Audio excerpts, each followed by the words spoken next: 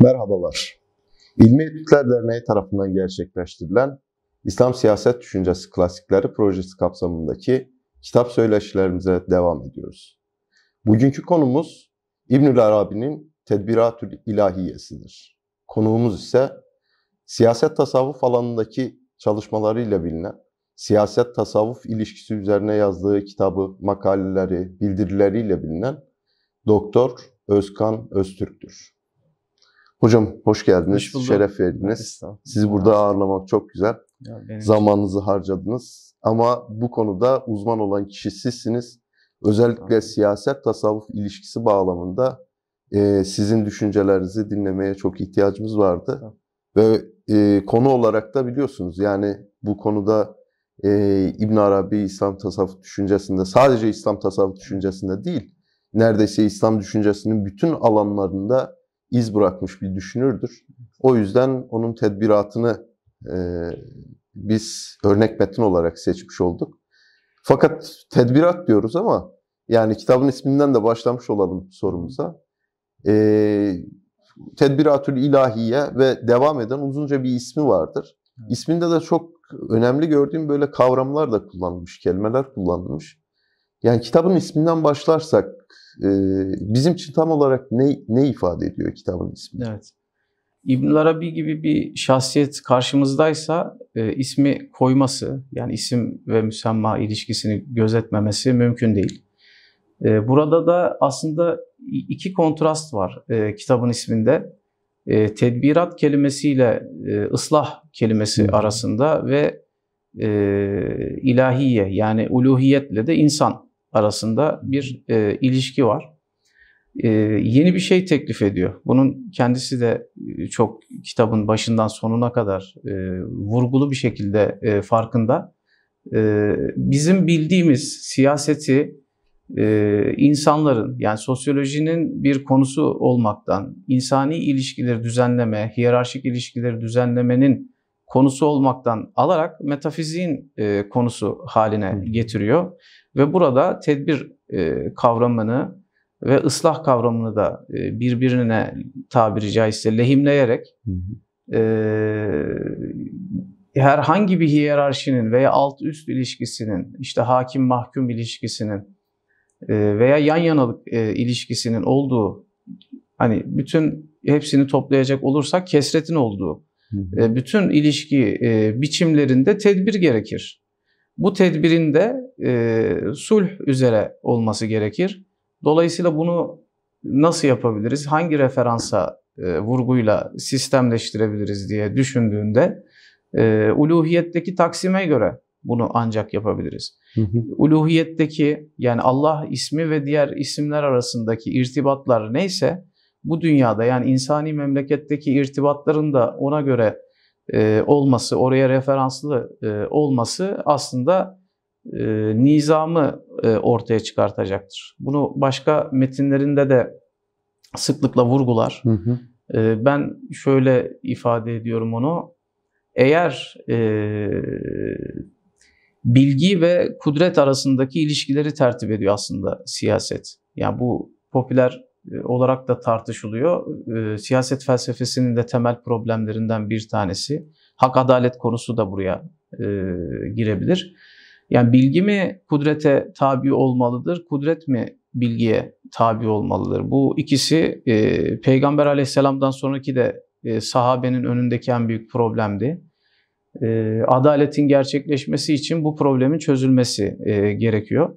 Burada İbnül Arabi e, uluhiyeti bir e, varlık ve bilgi taksimi olarak referans göstererek bütün siyasi alanın bu referanslara yani kudretin sistemleştirilmesinin buna referansla olmasını vurguluyor. Dolayısıyla insani memleket veya insani memleket derken onu da iki kontrastla açıklayacak. Yani bizim enfüsi ve afaki alanlarımız. Hı hı. Bu iki alanda e, bir siyaset yapıyoruz. Yani bunu yeni bir perspektif olarak e, ortaya koyuyor. Zaten kitabın yazılışında böyle bir hikaye de var. Hı hı.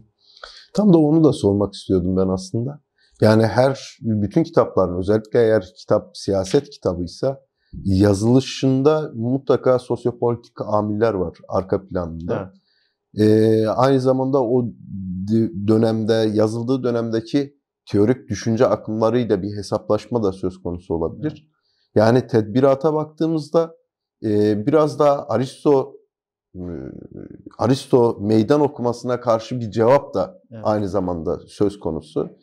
E, bu bağlamda İbn Arabi bu kitabı kaleme alırken hangi amillere cevap vermeye çalıştı veya evet. hangi faktörleri göz önünde bulundurdu? Bu kitabı neden ortaya koydu? Neden ortaya çıkardı sizce? Evet. Ee, Şeyh Mevruri diye bir e, Şeyh Efendi ile birlikteyken kendisine Aristo'nun kitabı El Hakim diye bahsediyor. Aristo'ya nispet edilen bir kitap. Aslen Tabii. ona ait olmadığını bugün biliyoruz. Sırrul Esrar diye bir kitap metin eline geçiyor. Ve çok ilginç dört günden bir az sürede Tedbiratül İlahiye metnini yazıyor. O şeyhin e, tavsiyeleriyle veya yönlendirmeleriyle hikayede şu İskender'e kendisi yanında olmadığı zaman istifade etsin diye yazılmış olan bir hikmet e, metni, siyasi hikmete dair bir metin. E, sen de e, bu bu hikmeti bir tartış, bu hikmetin eksik taraflarını tamamla diye bir teklifle geliyor kendisine. Şimdi burası e, burada bir duralım. Aslında burada hani metnin içerisine baktığımız zaman kendisinden önceki hikemi siyaset geleneğiyle hesaplaşıyor gibi bir e, şey var. As ama tamamen öyle değil. Kitabın içine girdiğimiz zaman önce yani İslam'ın kendi siyaset gelenekleriyle de e, onları da tartıştığı, yeni kapılar açtığı e, bölümler var. Ya da şöyle toparlamamız mümkün. Öncesinde ne vardı? Yani e, şimdi baktığımızda e, Aristo, Platon Aristo geleneğinden gelen Nasreddin Tusi'den, Kınalızade Ali Efendi'ye kadar takip edebileceğimiz bir hikemi siyaset geleneği var. Hı hı. Asil bir gelenek ve bu gelenek sistemleştirilmiş, konuları tedvin edilmiş, tartışmaları belirlenmiş e, bir gelenek. Belki İbn Miskeveyhi de oraya dahil edebiliriz. E, yani birçok isim sayabiliriz. Hı hı. Burada vaktimiz onları saymaya yetmez ve çok ciddi bir metin e, üretilmiş bu alanda. Ahlak metinlerinin siyaset bahislerinde bu bölümleri bulabiliriz bugün de. Ee, bunun yanında bizim kelam kitaplarının içerisinde işte semiyat bölümlerinde imamete dair tartışmaları e, bulabiliriz. Yani kela, kelam kitaplarının ürettiği bir siyaset e, geleneği var. Bir de e, işte ahkam-ı şer'iye, siyaset-ü şer'iye gibi fıkıh metinlerinde tartışılan böyle siyaset bahis, bahisleri var. O gelenek de e, Sürgit e, İbn Arabi'ye kadar gelmiş. Hint krallarından, Fars krallarından, işte kadim hikmetlerden e, akıp gelen bir de e, nasihatname gelenekleri var. Hı hı. İbn Haldun da bunlara e, şeyin e, mukaddimenin girişinde e, bunlara vurgu yapar bu geleneklere ve o da ne yaptığının farkında. Benim yaptığım bunlardan hiçbir tanesi değil diye de söyler. E, İbn Arabi de bunu aslında e, vurguluyor kitabın içinde. Şimdi burada tasavvuf yani fıkıh bir şeyler söylüyor, kelam bir şeyler söylüyor. E, işte nasihatnameler zaten üretilmiş. E, hikemi e, İslam felsefesi üzerinden gelen bir gelenek var. Burada e, Sufiler e, ne yapıyor? Yani aslında e, Sufilerin hani ilk başta bu konuyla irtibatlı değilse zihnimiz hani Sufiler iyi geçinmişlerdir sultanlarla falan gibi bir soru aklımıza yani bir yorum aklımıza gelebilir. Oysa ki öyle değil. Ee, İbn Arabi ve ondan önce bu, bunu etkileyen başka sahipler de var.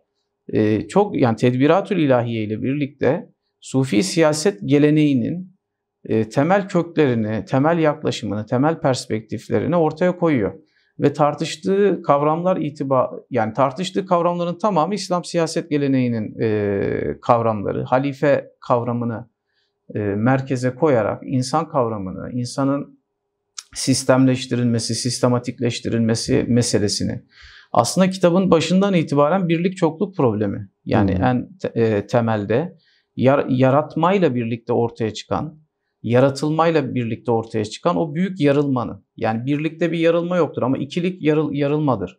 Yaratmak diyoruz, yarı diyoruz. Türkçemize de geçmiş yani. e, yarış diyoruz. Hep ikilikle ilgili süreçlerdir. Bir yerde ikilik varsa orada taksim vardır artık. İşte bu taksimi e, düzenlemeye biz tedbir diyoruz. İbn Arabi kendisinden önce Hikemi siyaset geleneğinden Aristo'ya nispet edildiğini bildiği o kitapla hesaplaşıyor ve oraya bakıyor orada tek, tekçi bir siyaset anlayışı var. Tekçi derken şunu kastı tevhid anlamında değil. Yani tek bir dünya şimdi ve burası. Yani bu burası için buradaki sistemi nizamlandırmaya çalışan bir siyasi akıl var orada. İşte orada tartışmalar var. Tartışmalar nedir? İşte e, yöneticinin, sultanın pozisyonu, e, elçiler, e, vezirler, savaşlar, ordular, orduların düzenleri vesaire gibi konular. Bu konuları hiç bozmadan yani orada tertip edilen konuları bozmadan kendi bunu met, metinde de şu şekilde ifade ediyor. Diyor ki ben e, bu sistemi bozmadım ama bu sistem de eksik yani. İddia ettiği şeyde de eksik. Onu tamamladım. Ama onun üzerine enfüsi alemin siyasetine dair de bir bahis e, ekledim hmm. diyor. Bunu metin içerisinde açık bir şekilde söylüyor ve yeni bir perspektif açıyor. Yani yeni bir katman açıyor. E, yeni bir metafizik parsel açıyor tabiri caizse ve orada e, söyledikleriyle diğer tarafta söyledikleri arasındaki e, paralellikleri, kontrastları izah ediyor. Metin tamamen bu e, sistem üzerine kurulu bir metin ve bize yeni tekliflerle geliyor. Şimdi bu tekliflere geçmeden önce şunu söyleyebilir miyiz mesela?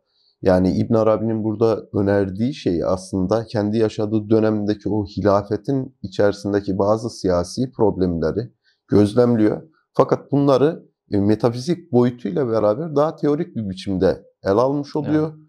Yani aslında bir anlamda da pratikte uygulam pratikteki uygulamalar da eleştirmiş oluyor. Kesinlikle. Sadece eski e, şöyle teorik düşüncelere değil de pratikteki uygulamalara da aslında eleştiri getiriyor ve bir teklifle ortaya çıkıyor. Tabii. Böyle bakabilir miyiz mesela? Kesinlikle bakabiliriz. En temel tespiti de Hz. Peygamber aleyhisselamdan sonra ki Hz. Peygamber aleyhisselam kendi zatında hem bilgiyi hem kudreti temsil ediyordu. Hı hı. Hilafet bu demektir zaten. Evet kudrete e, tabi olmuş bilgi değil. Bilgiye tabi olmuş e, kudrete yani o kılıca, kılıçla temsil edilen bütün sultanların temsil ettiği şeyin e, adı hilafettir. E, burada e, bu meseleyi İbn Arabi başka bahislerde de tartışıyor. Mesela İnşaat Devair'de var, e, Anka'da var, e, Fütuhat'ın girişinde var. İlahi isimlerle ilgili e, bir muhavere var, bir konuşma var. Ezelde yapılan konuşma. Orada mesela şöyle bir şey söyler. E, bütün ilahi isimler kendilerinin dış dünyada zuhur edebilecekleri, tahakkuk edebilecekleri o aynı şeyleri ararlarken, ger- gerçeklikleri ararlarken, e, o gerçekliklere tezahür etmek isterlerken bazen e, yani ilahi isimlerde biliyoruz aynı şeye e, tahakkuk edebilirler. Bu bir niza ortaya çıkartır. Yani Eşşafi ismiyle Ettar ismi ve başka isimlerin e, aynı şeye e, tahakkuk etmeleri nizamı bozan bir durum. Hmm. Ez-Zahir, El-Batın böyle kontrastlı isimler var. E, dolayısıyla burada rububiyet dediğimiz bir mertebenin ortaya çıkması ve rububiyet mertebesinin e, bu bütün ilahi isimleri ve onların yani varlıklarla oluşturacakları nispetleri düzene sokması demektir. Ya yani İbn Arabi'nin literatüründe rububiyet bu. Dolayısıyla rububiyetin iki tane e, rububiyete mensup iki esma daha var. Bunlardan bir tanesi el müdebbir. Yani tedbir kelimesine de vurgu yaparak e, söyleyelim. El müdebbir esması varlıkların hükümlerini belirleyen isimdir. El mufassıl esması ise bu hükümleri mertebelerine indiren, tafsil eden hmm. e, isimdir. Şimdi İbnül Arabi'de uluhiyet yani Allah esması, onun altında rububiyet, onun altında el müdebbir ve el mufassıl esması. Bakın burada bir siyasi e, piramit e, ortaya çıktı. İşte İbnül Arabi'nin bize söylediği şey ve çağına yani o dönemdeki çatışmalara söylediği şey şudur açıkça. E, Efendimiz Aleyhisselatü Vesselam'da bütün bu nispetler ilahi tedbir üzerine e, toplandığı için onun siyaset e, vaz edici bütün e, fiilleri e, sulh, e, ıslah e, sonucunu doğuruyordu. Fakat e, Peygamber aleyhisselamdan sonra ortaya çıkan işte bu saltanat vesaire süreçlerinde bilgi kudrete tabi olmaya başladı teknik olarak. Dolayısıyla bilginin kudrete tabi yani kudretin bilgiyi belirlediği yerde niza ortaya çıkar. Bilginin e, kudretin bilgiye tabi olduğu yerde de nizam ortaya çıkar. Dolayısıyla biz alemde nizamı arıyorsak e, uluhiyetteki nizamı e, referans almamız gerekir. Yani sulh e, aranıyorsa insanla Allah arasındaki ilişki e, eşelenmeli, oradaki bütün sistemler deşifre edilmeli ve o sistem taksimi üzerinden bir sultanlık e, düşünülmeli.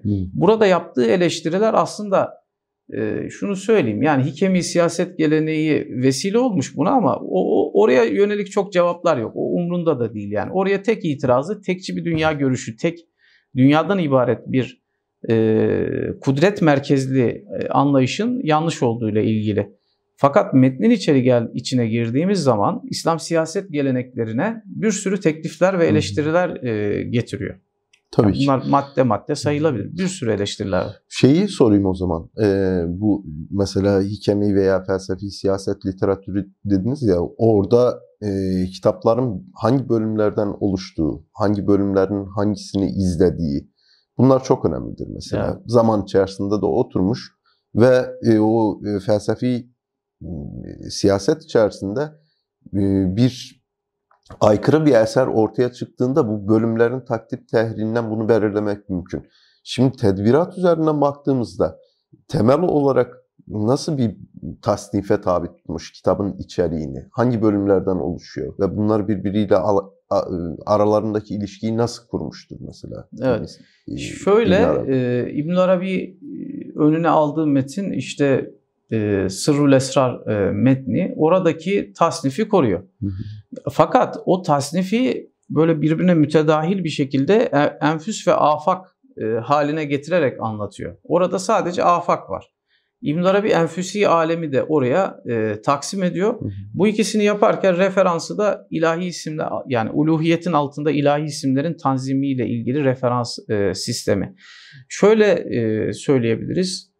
E, şimdi melekut dediğimiz bir alan var. Misal alemi var e, mülk alemi var. Bir de insanın enfüsi mülkü var. Dolayısıyla dört tane parsel ortaya çıktı Hı-hı. burada. Yani dört tane alem. Melekut da ilahi isimlerin taksimi nedir? E, misal aleminde va- vazifesi olan veya misal aleminin siyasi şeyleri diyelim e, onları belki açıklayabiliriz. Oradaki taksim nedir? Mülk alemindeki taksim nedir? E, ve insanın içinde e, bir alem var. Benliğin yani insani benliğin toplumları var.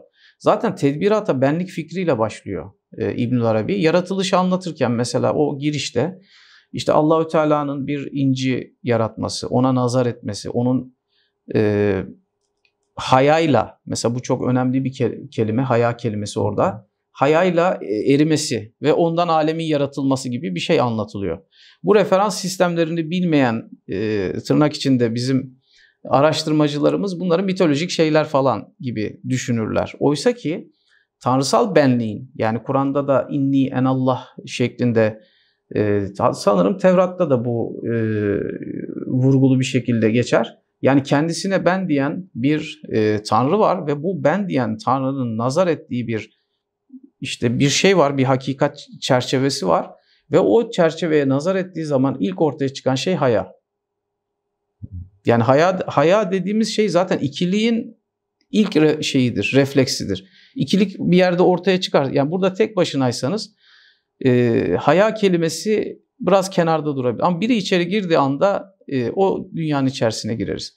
İnsan tek başına olduğu zaman da işte Allah'la aynı kontrastı e, kurduğunda aynı şeyin içerisine girebilir. Bunu buradan başlayarak anlatıyor. Tedbiratın bir kere kuruluş şeyi e, metafizik bir sistem üzerine e, kurulu insanla Allah arasındaki ilişkiyi anlatıyor ve sonrasında o kasnağı korumuş. Yani işte sultan, e, vezirler, elçiler diye gidiyor bahisler, savaşlar, ordular e, düzeni, e, taşlar, mevsimler falan diye oradaki sistematiği e, korumuş. Fakat içine tamamen yeni bir şey e, koyuyor. Yani mesela e, sultan dediğimiz zaman bu dört tane alanın sultanından bahsediyor. Yani Allah isminin uluhiyette sultan olduğunu söylüyor. Ondan sonra işte e, alemi misalde vazifeleri olan kutbiyet diye bir sistematiği orada e, ortaya koyuyor. Yani alem misalde buluşan, orada bir sistem e, kuran. Alemi mülkte sultandan bahsediyor.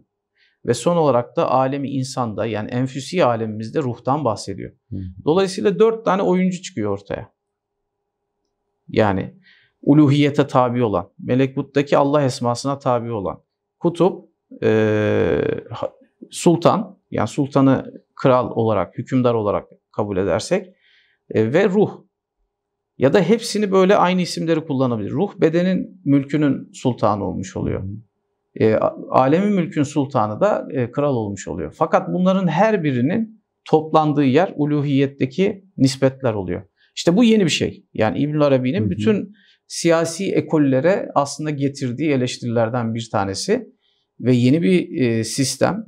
Bu sistem bizi e, uluhiyetteki o bilgiden başlayarak mesela Eimmetül Esma diye bir kavram vardır İbn Arabi'nin ilahi isimlerin imamları. Yedi tane imam.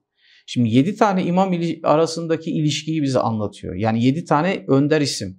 Bu yedi tane önder isim arasındaki ilişki anlaşılmadan aşağıda e, doğru bir düzen fikrinin oluşması mümkün değildir diyor. Ya bunlar çok yeni şeyler yani İslam siyasi geleneği açısından çok yeni şeyler ve e, sistemi belirliyor. E, bu hani yedi ismi dörde indirirsek aşağı yukarı bir yerde hani burası bir mekansa, burada insanlar varsa, burada bir tertip oluşturmak, bir yönetim anlayışı oluşturmak istiyorsak dört şeye e, ihtiyacımız var. Birincisi canlılıktır. İki, ki bu zemindir yani. Canlılık olmazsa olmaz. Onun dışında üç şey kalıyor. İşte burası üçlü bir çatal.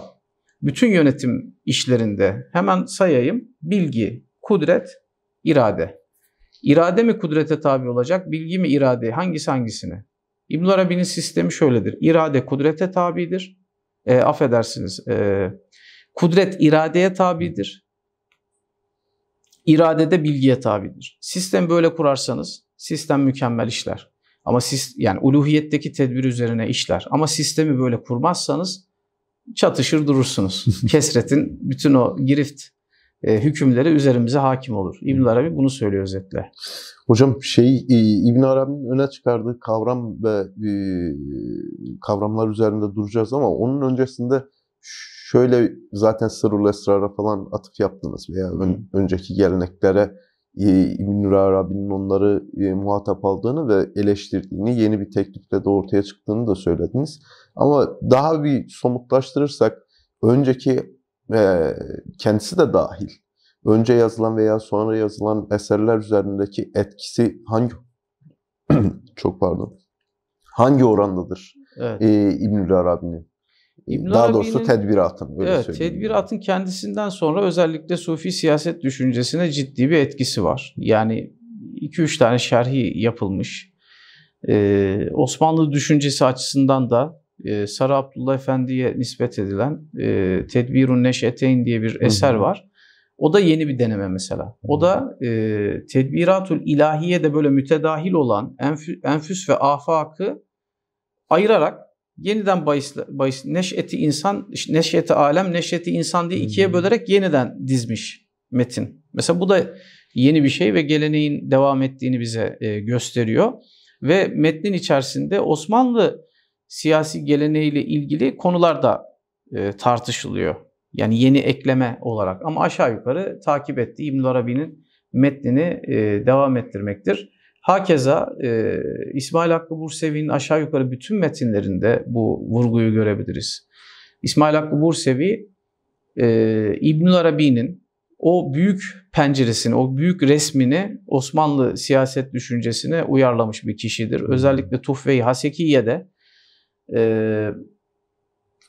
e, bu mertebeleri yani Osmanlı Devleti'nin işte baştan başlayarak sultan, vezir, e, bütün bu sistematiği yeniden dizmiştir. ilahi tedbirlere göre yani İbn Arabi'nin açtığı o çizgiye göre dizmiştir.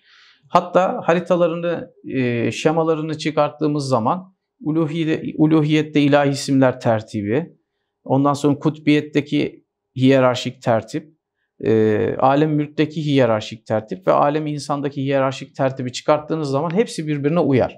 Her yani mertebeler aynı, mertebede mertebedekilerin isimleri farklıdır. Aynı alemde yani vahdet vücut düşüncesinin e, ifade ettiği gibi alemde gözüken tek bir şey vardır fakat mertebede farklı gözükmektedir.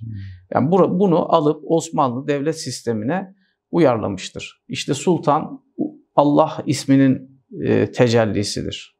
Yani Allah isminin yeryüzündeki gölgesidir. Vezir Er-Rab esmasının tecellisidir. Rububiyette gibi bunları e, dizmiştir. Osmanlı'yı vahdeti vücut düşüncesi üzerinden yorumlamıştır.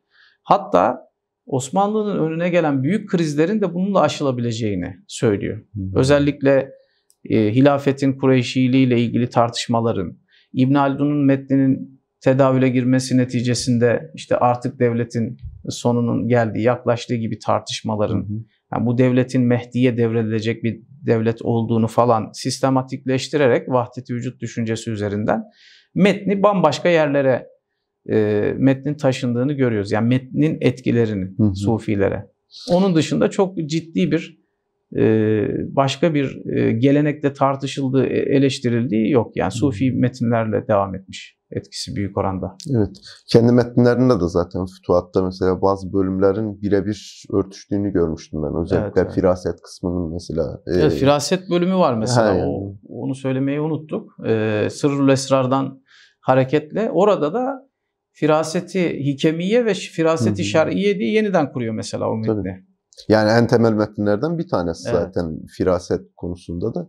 Yani gönül isterdi ki bunları çok daha geniş ayrıntılı konuşalım ama e, şunu söyleyebilir miyiz? Yani İbnül Arabi'nin şu eserinde öne çıkan üç tane en temel kavram vardır. Bütün eser bu kavram ve önermeler üzerinden hareket ediyordur. Veya, veya beş tane artık kaç tane ise hangi kavramlar öne çıkıyor veya hangi önermeler üzerinden daha çok ilerliyor? Siz biraz yine bahsettiniz ama bunları toparlayacak olursak nasıl bir manzarayla karşılaşırız? Şöyle e, aslında ben İbnül Arabi'nin e, bütün yani yazdıkları metin, metinlerin tamamının e, e, şöyle ifade ediyorum onu odak e, kavramı ya da uğrak kavramı hükümdar kavramıdır. Hmm. Bütün metinlerini bu kavram etrafında toplayabilirsiniz. Yani sultan kavramıdır. Hmm. Mesela Bursevi bir metninde Allahü Teala'ya sultan, sultanım Allah denir mi meselesini böyle problematik hale getirerek tartışmış kelami açıdan. Çünkü malumunuz Allahü Teala'ya bir is, isim ıtlakı şer'i bir şeye göre olmalıdır diye bir tartışma var kelamcılar arasında. Şimdi İbn Arabi de e, Allahü Teala'nın e, yani ulu Allah esmasının diyeyim. Yani zat ve Allah ismi arasındaki ilişkileri de anlatıyor. O ayrı bir konu. Ama Allah yani belirlenim ve bütün o belirlenimi, belirlenimleri kendisinde cem eden, toplayan, bütün ilahi isimlerin referanslarını kendisinde toplayan o isim e, alemin hükümdarıdır aslında. Hı hı. Ve bu hükümdarın tek olması, mertebelerde farklı şekillerde tezahür etmesi neticesinde her mertebe de onun bir benzeri sistemate e, sahiptir. Mesela e, şöyle ifade edelim. Yani bir insan da bir sultandır. Yani hepiniz çobansınız, sürünüzden mesulsünüz. Hadisi şerifine de işaretle. Bütün e, alemdeki bütün varoluşsal alanlar onun bir devamı gibi düşünülebilir. Yani insan da bir sultandır. İşte burada ne var? İnsan, insanda sultan ne o zaman? Enfüsi alemde ruhtur. Peki vezir ne? Vezir akıldır. Peki e, buradaki bozguncular ne? Savaşlar ne? Hı hı. Bu sistemin e, bütün her yerde aynısını e, prefabrik bir şey gibi çoğaltarak İbnül Arabi kurar. Hepsini kurar ve böyle siz baktığınız zaman inanılmaz referansların karşılıklı paralel bir şekilde oluştuğunu görürsünüz. Tedbiri anladığınız zaman, ilahi tedbirin e, esrarını anladığınız zaman ki sırrul esrara burada vurgu var. Hı hı. Siz bunu anladığınız zaman insani mülkteki bütün ilişki biçimlerini tedbir edebilirsiniz. Yani anahtarı bize veriyor. Hükümdarın elindeki anahtarı bize teklif eden bir metin. Tabii ki halife kavramı e, metnin en e, merkezi kavramlarından bir tanesidir. Halife nedir? Yani halife e, tabii ki bir, bir hükümdardır ama alem insanda ruh halifedir. İnsani memlekete gönderilmiştir, vazifelidir. Ve bu vazifesi e, o memleket memlekete dışarıdan gelen birisinin vazifesi gibidir. İçerideki e, potansiyele de nefis adını veriyoruz. Dolayısıyla hükümdarla nefis e, o metinde bir eş e, olarak yani nefis hükümdarın eşi olarak e, tanımlanmıştır. Fakat o memleketin içerisinde e, o memleketin ashabından hükümdarın nefsini kendine davet eden başka unsurlar da vardır. Mesela bunu heva olarak tanımlar İbnül Arabi ve nefis hükümdardan habersiz bir şekilde yani hükümdarın haberi olmadan o heva emirine yani o mülkün içerisinde güçlü bir emir olarak tarif ettiği İbn Arabi'nin ona zaman zaman e, tabi olur. Bir yasak bir durum ortaya çıkar. Akıl bunun farkına varır. Böyle tahkiye ederek anlatır bunları İbn Arabi. Akıl bunun farkına varır ve bunu en son bütün mülk elden gittikten sonra, bütün mülk o hevaya tabi olduktan sonra e, söyler ruha ve oradaki bir aziyetle, iltica ile birlikte Allahü Teala'nın da yardımıyla birlikte savaş başlar. Hevayla e, ruh arasında ve o o savaşın bütün aşamalarını, o savaştaki orduları, orduların malumunuz o dönemin e, öndeki ordular sağ ve sol kanat, e, arkadaki kademedekiler gibi e, savaş e, yöntemleri vardır. Onların tamamını e, içimizdeki savaşla ilgili tanımlar. Öne neyi koyacağız, arkaya neyi koyacağız, sağa neyi koyacağız, sola e, neyi koyacağız ve savaş nasıl gerçekleşecek? Savaş gerçekleşmeden elçilerin birbirine gidip gelmeleri. Mesela ruh e, elçisine heva, ruha heva bir elçi gönderir. Hırs elçisini gönderir. Hı hı. Mesela bununla ilgili de bir e, metin kaleme almıştım. Orada e, karakter onarımının insani e, mülkte e, kendimizle ilişkimizi kurarken karakter onarımını nasıl yapacağımızı o kadar güzel anlatır ki kendimize kızmadan. Yani mesela hırs diye bir şey var. Ya hırslıyım ben. Veya bende başka özellikler var. Ya İbn Arabi bu özelliklerin yani hakikatlerin değişmeyeceğini ama hakikatleri kullandığımız mahallerin değişeceğini söylüyor ve hırsı sen yok olacaksın gibi hitaplarla değil de ya sen hırsın. Senin aslın değişmez. Seni burada istihdam etmiş heva. Gel ben seni şurada istihdam edeyim. Şeklinde bir e, şey teklif ediyor bize. Siyaset tek, tek, teklif ediyor.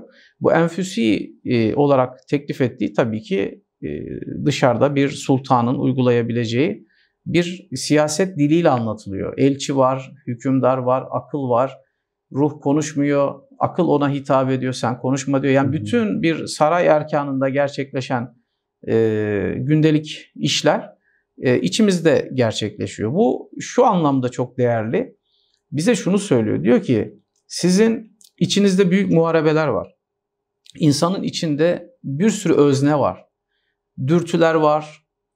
Ee, bir yanda şehvet dediğimiz bir unsur var. Yani arzu gücü. Bütün varlığa yönelik hamlelerimizi bu gerçekleştiriyor. İşte gazap gücü var. Mesela bunları özneleştirerek konuşturuyor. Yani bizim şeyden farkı bu. İlkemi siyaset geleneği bunları tespit etmiş. Hı hı. Ama İbn Arabi bu, bunu e, insan zihnine tahkiye ile e, sunuyor. Ve işte korku gücü, gazap gücü bizi geri çeken bir kuvvet. Ve bütün hamlelerimiz, psikolojik dinamik, dinamiklerimiz dürtülerle başlıyor. İşte arzular veya korkular dürtüleri harekete geçiriyor. E, ya da dürtüyor, dürtüler bizi harekete geçiriyor. Hareket doyuma e, doğru e, gerçekleşiyor. Doyduğumuz zaman e, geri çekiliyoruz. Yani insanın basit bir me- mekanizması var. Bu basit mekanizmayı deşifre ediyor. Yani kitap aynı zamanda psikolojik tahlillerle dolu bir kitap. Ve burada diyor ki sen kendinle baş etmek mi istiyorsun? Yani bura, bu çok kolay. Hiç üzülme, kasma. Bir e, sendrom değil bu durum. Yani insanın psikolojik olarak kendisini onarması bir sendrom bir durum değildir. Sadece siyaset bilmediğimiz için bu durumlarla uğraşıyoruz. Siyaset bilsek o kızdığımızın aslında bize bir güç devşirecek bir unsur olduğunu görebileceğiz gibi hırsla başlıyor başka şeylerle. Mesela vezirin portresini anlatırken de işte vezirin kaşı gözü derken sıfatlardan bahsediyor. Hmm. O sıfatlardan bahsederken aslında e, hani vezirden bahsediyor ama bizdeki ak, akıl dediğimiz e, gücün e, güçten tezahür eden e, sıfatları anlatıyor. Yani çünkü bende de vezir akıl olmuş oluyor içimde. Yani bende vezir var, bende sultan var gibi bize böyle elçiler var. insanda gidip gelen işte elçiler bu dürtme mekanizmaları.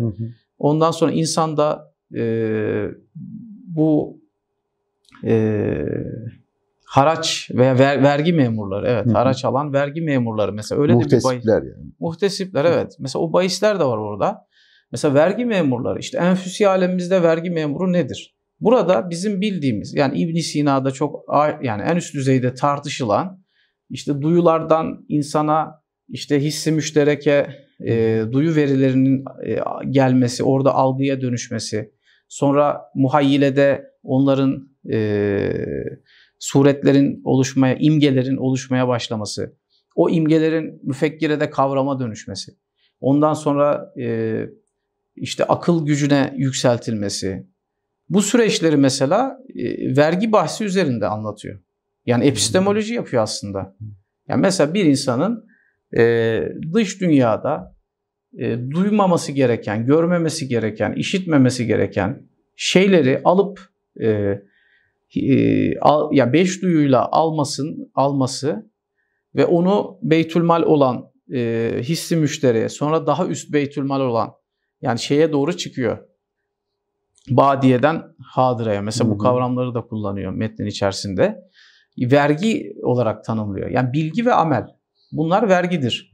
Dolayısıyla insan dış dünyadan duyularla bunları alır. Bunlar o kadar güzel anlatıyor ki ee, mesela bize Kur'an'ın anlattığı, Kur'an'ın bahsettiği illiyun, sicciyun gibi mertebeler, e, heva gibi e, kavramlar, e, vehim gücü mesela, hı hı. Veh, veh, vehim gücünün varı yok yoğu nasıl var gösterdiğini, özellikle bizim ameli dünyamızda, hayatımızda bizi nasıl çeldirici olduğunu, bunları hepsini bir siyaset metni içerisinde anlamış.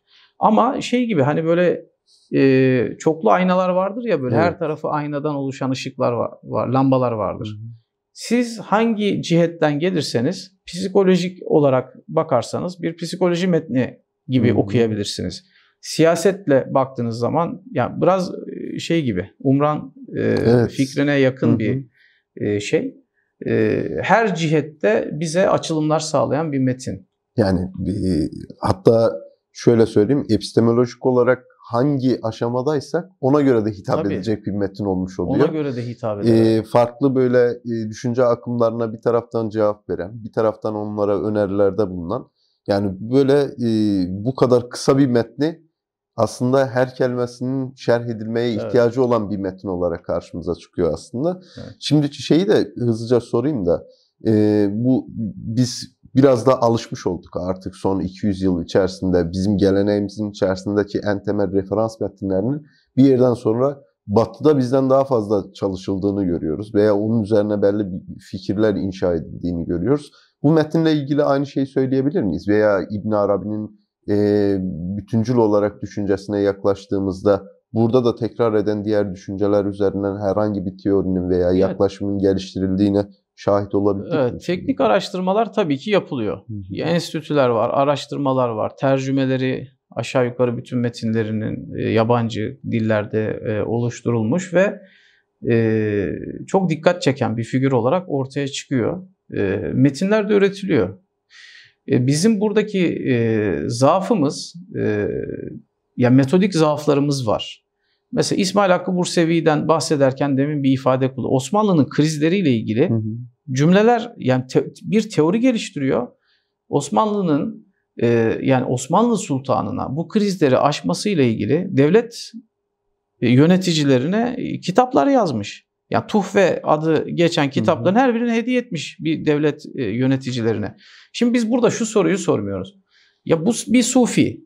Bu böyle kendi aleminde konuşuyor gibi bakıyoruz. Oysa ki bu sufinin devletin bir problemini yani bir devletin bir paşası gibi olabileceğini düşünsek hı hı. söylediklerini analiz edebilecek bir zemin önümüze sereceğiz. Bunu çok fazla yapmıyoruz. Hı hı. Bunu yapmamız gerekiyor. Mesela çok güzel bir soru sordunuz. İbn Arabi bu met- metninde kime sataşıyor? Ya İbn Arabi kimseye sataşmaz. Kendi hayır. Ya bunu yapıyor. Mesela bir şey söyleyeyim. Ee, hilafetin şartları, imametin şartları yeniden anlatmış orada özellikleri. Mesela Kureyşiliği anlatmış. Acaba ne yap, niçin bunu yapıyor mesela? Hmm. Kureyşi olmak nedir? Mesela ruhun Kureyşiliği de gerekiyor. Hani mertebeler birbirine mukabilse enfüsi alemde ruhun Kureyşi olması lazım. Ne demek şimdi bu ruhun Kureyşi olması? Yani kitabın normalde o dönemde yaşayan Müslüman gibi bu dönemde yaşayan bir Müslümana da bir, bir söylediği bir şey vardır. Evet. Değil mi? Yani Tabii ki bunun var. üzerinden aslında kitabı bu gözle de bakabiliriz. Osmanlı'da farklı bir mesajı vardı. Belki bugün farklı bir mesajı işte var. Bugün bunu yapmamız lazım. Hmm. Yani İsmail Hakkı Bursevi kendi dönemi için bunu yapmış. Biz bu metinden ilham alarak bugünkü yani siyasetin çatalını çıkartmış böyle o sistemi çıkartmış İbn Arabi. Ya bugün çok kolay bunu yapmak. Yani bugünkü siyasette bilgiyle kudret ve irade arasındaki ilişkileri analiz edebiliriz. O kadar çok böyle yörünge kavram var ki metnin içerisinde. Bunların her birinin önüne günümüzün meselelerini yatırıp tart tartışabiliriz. Yani oradan ilhamla. Fakat hani bir şey olarak bir betimleme gibi metinleri çalışıyoruz. Bunu söylüyor deyip geçiyoruz. Referansları genelde kendi içine hapsolmuş oluyor. Dışarıya çok çıkartmıyoruz. Belki böyle metot ihtiyaçlarımız bugün var. Tartışma. Yani bugün verdiği mesajı böyle toplumsal anlamda bir siyasetin sonuçları olarak mı ele almamız lazım yoksa ilk önce kendimizden de yani psikolojik boyutuyla mı acaba ele alıp ondan sonra toplumsal boyutuna çıkmamız gerekiyor gibi bir sonuca varabilir miyiz? Ya yani? İbn Arabi'de bunlar böyle yan yana şeyler. Yani hmm. psikolojinin olmadığı yerde sosyoloji olmaz. Hmm. Uluhiyetle insan arası ilişkiler gidiş gelişlidir. Kesret ve vahdet ilişkileri. Mesela bugün demokrasi diye bir sorunumuz var. Sorun derken hani demokrasi diye hı hı. bir çözümümüz var evet. ya da iki ikisi de aynı. Sorun, yani hem sorun hem e, çözüm. Yani çözüm olarak teklif ettiğimiz şey sorunlar da üretiyor. E, bu nedir? Temsil sorundur aslında. İbnül Arabi'nin metni bize bir temsil fikri veriyor. Mesela halife kimi temsil eder? Halife halkı mı temsil eder? Allah'ı mı temsil eder? Yani kimin halifesi bu? Hmm. Mesela bu soru çok merkezi bir sorudur. Yani buradaki temsilde Allah'a karşı sorumlu, e, tebaya karşı veya işte topluma karşı da e, görevli olan bir kişi ortaya çıkıyor. Şimdi bunu siz sadece böyle düşündüğünüzde mesela Allah'ın yeryüzündeki gölgesidir. Çokça eleştirilen bir şey değil mi bu? Yani eskiden işte Osmanlı Allah'ın yer evet öyle. Yani şeye göre öyle ama bunu anlamamız lazım. Bu gölge ne demektir? Hı hı. Gölge ile gövde arasındaki ilişki nedir? Yani bunun gölge olması demek. Yani uluhiyette bazı ilahi isimler yani uluhiyet taksiminin altında bazı ilahi isimler var. Adil olması, e, hikmetli olması, işte ne bileyim rezzak olması gibi Allah'ın bu isimleri var. Yani sultana da diyor ki yani bu, bunu söylerken sen de adil olmalısın. Hmm. Yani sen ona tabiisin, sen de halifesisin. Sen de Allahü Teala'nın fiillerini icra ederken ki hikmetli tavrını gerçekleştirmelisin. Sen onu e, temsil etmektesin. Mesela demokrasi gibi bir kriz ortaya çıkartmaz. Neden? Yani demokrasi bununla çatışıyor. Halkı temsil ediyorsun sen diyor. Hmm. Ya yani o o tarafı tekçi bir pozisyonla e, Sırrul Esrar'daki gibi öteki tarafı yok sayıyor. E, peki İbnül Arabi hayır Allah'ı e, temsil ediyorsun mu diyor. Hayır. Hakta gözüken de hak zaten. Dolayısıyla onları temsil etmen de Allah'ı temsil etmen anlamına e, geliyor. Bunları çok güzel anlatır Fütuhat'ta mesela. Yani Fütuhat'ta sultanla mertebe arasındaki ilişkiyi anlattığı bir bölüm vardır yanlış hatırlamıyorsam. Orada mertebede sultan gibi gözüken ama mertebenin reddettiği, azlettiği sultanlar vardır diyor. Çünkü mertebede bulunan kişinin mertebenin hükmünü taşıması gerekir. Mertebenin hükmünü taşımayanı mertebe azletmiştir diye anlatıyor. Ee, siyasi bir bahiste. Biz bunları bugünün sorunsalı haline getirip konuşmamız lazım. Biz liyakat falan diye tartıştığımız şeyler bunlar. Mertebenin hükmü nedir? Yani sultanlık mertebe midir, şahıs mıdır? Şahıs nerede başlıyor, mertebe nerede?